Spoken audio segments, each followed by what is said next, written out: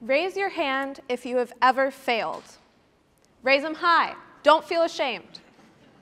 Look around you and take note of all the hands you see. Today, I want to challenge the negative stigma around failure. Despite the fact that we as humans tend to feel a sense of embarrassment or imposter syndrome when we fail, that is not the full picture of failure.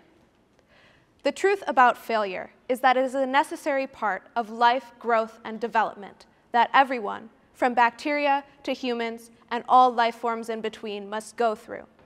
And, despite popular belief, the process of failing may actually put us one step closer to achieving our goals. First, I would like to talk to you about how failure affects your brain. There is a chemical that is produced in your body called neurotensin which has a variety of effects on the nervous system. Studies show that levels of neurotensin increase in response to stress, which suggests that it may play a role in the body's response to anxiety and fear. The structure of the brain that is responsible for this type of emotional processing is the amygdala. If we look more closely at the amygdala, we will see that there is a collection of neurons that respond particularly intensely to neurotensin.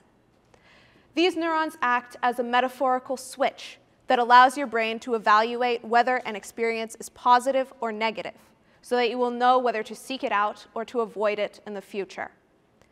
However, your brain is predisposed to react more quickly and strongly to negative events, which is why we can very easily remember all of the times where we've failed, where in all likelihood, no one else noticed. But what exactly happens in the brain when you fail? One of the key error networks of the brain is the anterior cingulate cortex, which is located in the frontal lobe. It is also known as the ACC. Whenever you complete a task, the ACC is activated. When you succeed, the ACC will trigger the release of dopamine, which will create a pleasurable feeling, and it will also serve to reinforce the behaviors that led you to success, so that it will be easier to continue to do so in the future. When you fail, the ACC does not trigger the release of any pleasurable chemical. However, it does trigger the release of other chemicals and neural processes that serve to rewire the brain to be better at the task that you're working at. Both of these processes play a role in what is known as associative learning. So even when you fail, your brain is actively learning how to grow and improve. But failure isn't just a human experience. Many animals and other organisms also experience failure and are bettered by having experienced it. We often hear the phrase survival of the fittest, but I believe that it should actually be survival of the most resilient.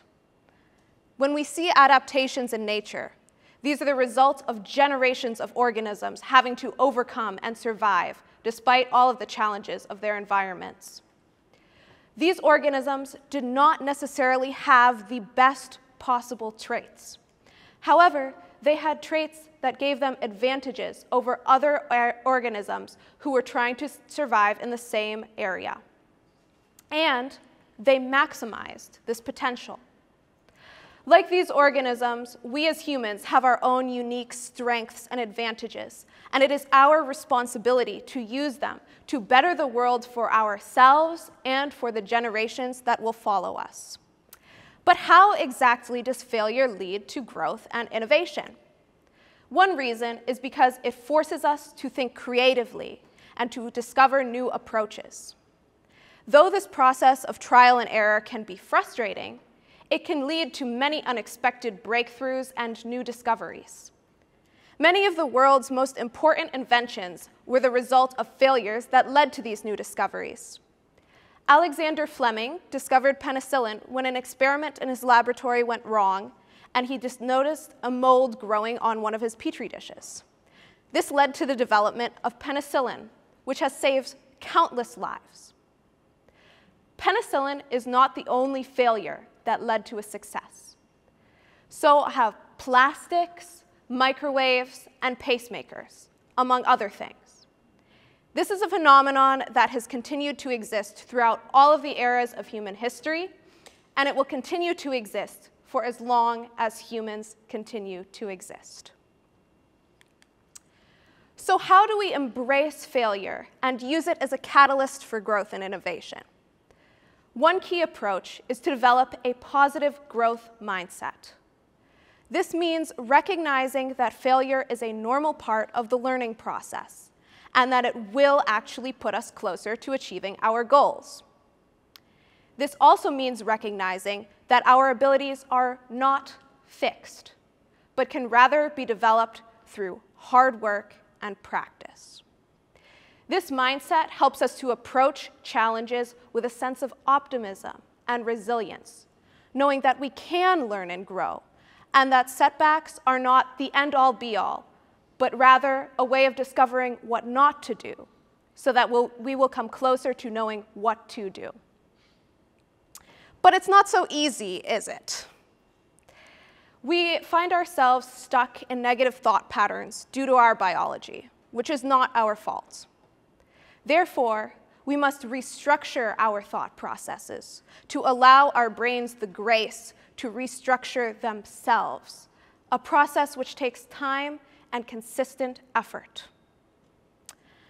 One way of doing this is to not consider what else there is to possibly achieve, but rather focus on how much one has come, how much you have improved.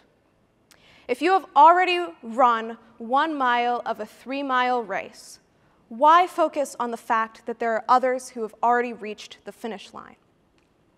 There are still others at the starting line or others who never even bothered to enter the race at all. Even if you are not the best at what you do, there will always be people who are worse than you, or worse, people who never even bothered to try.